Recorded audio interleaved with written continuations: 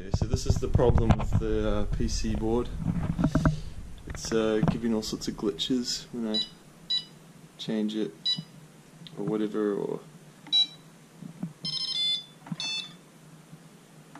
so sometimes it'll turn on by itself. It's see that's actually stopped working now.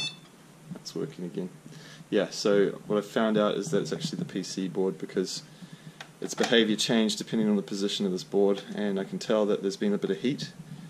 This area here is discolored, so that's a dead giveaway as well. This one here just pulls out.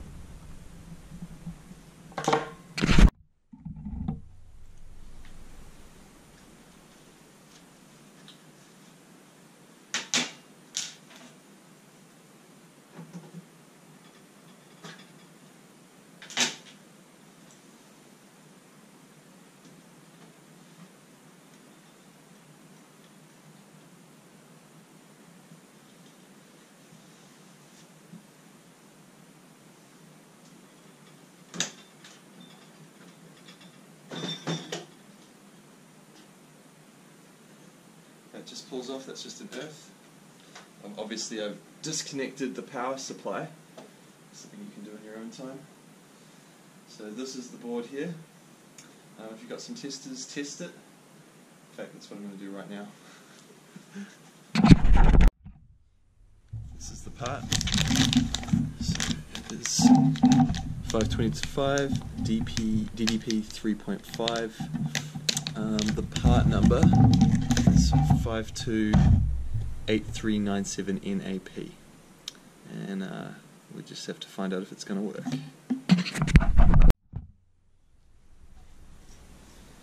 So now I pull this out. Just I'm going to check it against the board that I've got here, make sure it's got the same sort of connections. So it's looking like buttons on the top are the same. Not too sure about those, we'll find out in a minute, I guess.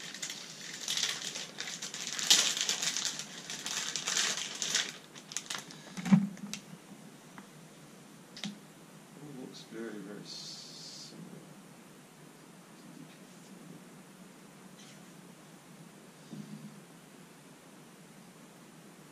So I'm just going to swap all those across to this and then we'll test it. Sweet.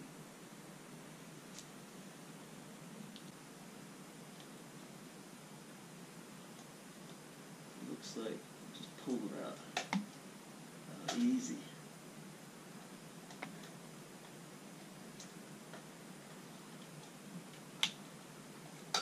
Love it. Too easy.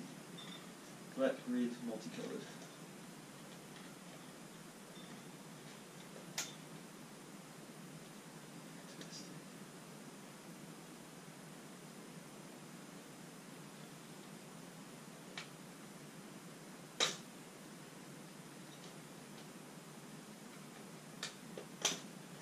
Just a little wiggle backwards and forwards, um, and it seems to work pretty easily. Black, red, multicolored. Alright, was the new one. Here she is.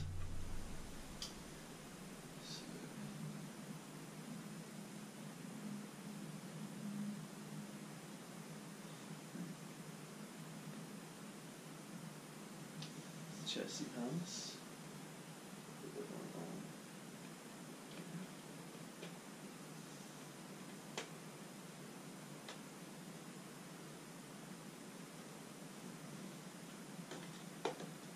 This one will be good.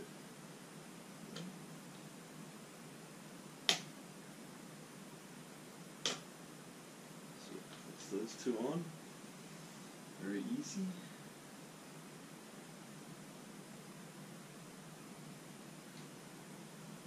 LCD badge goes up to this.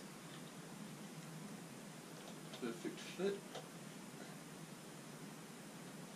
Red. It's a dispenser. Multicolored. Right.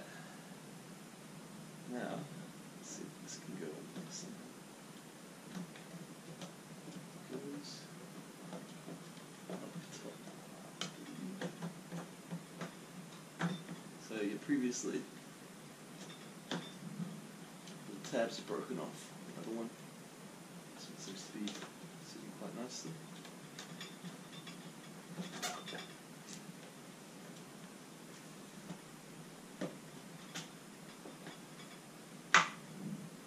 Get locked in. Because probably got a picture of my butt. So just as to slide up and in. Now I'll turn the power back on and see if she's going.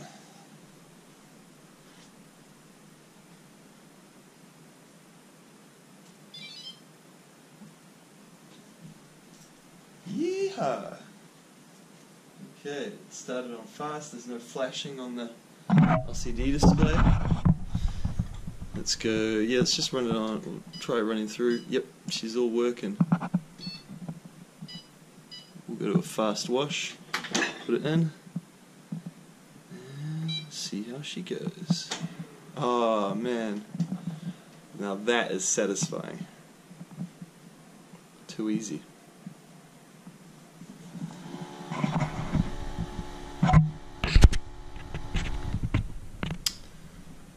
Of success.